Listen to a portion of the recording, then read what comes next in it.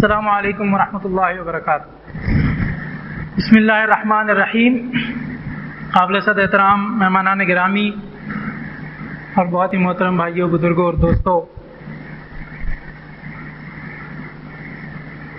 काजी Mohammad server साहब के जिनके बारे में मरज खलाइक के उनवान से एक किताब आज हमारे ज़ेर बहस है उनके बारे में अगर ये कहा जाए कि ईमान और इस्तकामत, सादगी और कनात फ़क्र व इस्तगना, जितने उनवानात हम इस तरह की शख्सियात के लिए सजाते हैं और लिटरेचर में पढ़ते हैं, उनका मरक़ा काजी मोहम्मद सरवर साहब थे। और यकीनी तौर पर यही जज्बात हम सब के जो भी उनसे मिलते, उनसे रबता होता। इसी किस्म की चीज़ें और इसी किस्म की खसूसियात और सिफ़ात हमें उनके अंदर नज़र आती थी। और ये हम कह सकते हैं कि माशरा भी रफ्ता रफ्ता इन चीज़ों से तही दामन होता जा रहा है। और ज़ाहिर है कि माशरे का हिस्सा होते हुए तहरीक में भी ये चीज़ें हमें कम नज़र आती हैं। लेकिन हमने जब भी उनको देखा, तहरीक के मिशन को आगे बढ़ाने की लगन में मसरूफ़ देखा। जिस ज़माने में वो साहिब फराश थे, उस ज़माने में जाने का मौका मिला। अब्दुल वदूद भाई से, जमीयत के ज़माने से एक ताल्लुक़ था। इस मुनासबत से जाना आना रहता था।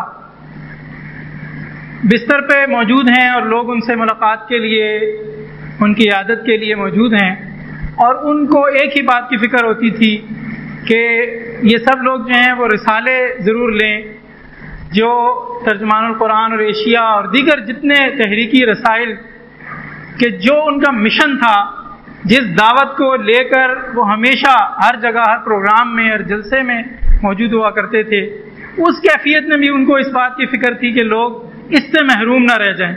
और आने वाले से पूछते थे कि आपको इस हफ़्ते का, इस महीने का रिसाला मिला है कि नहीं, ये वो स्प्रिट है कि जिसकी हकीकी मानों में आज हर कारकुन को ज़रूरत है, पूरी इस तहरीक को ज़रूरत है, कि जिसका मुजाहरा वो हमेशा अपनी ज़िंदगी के अंदर करते रहे।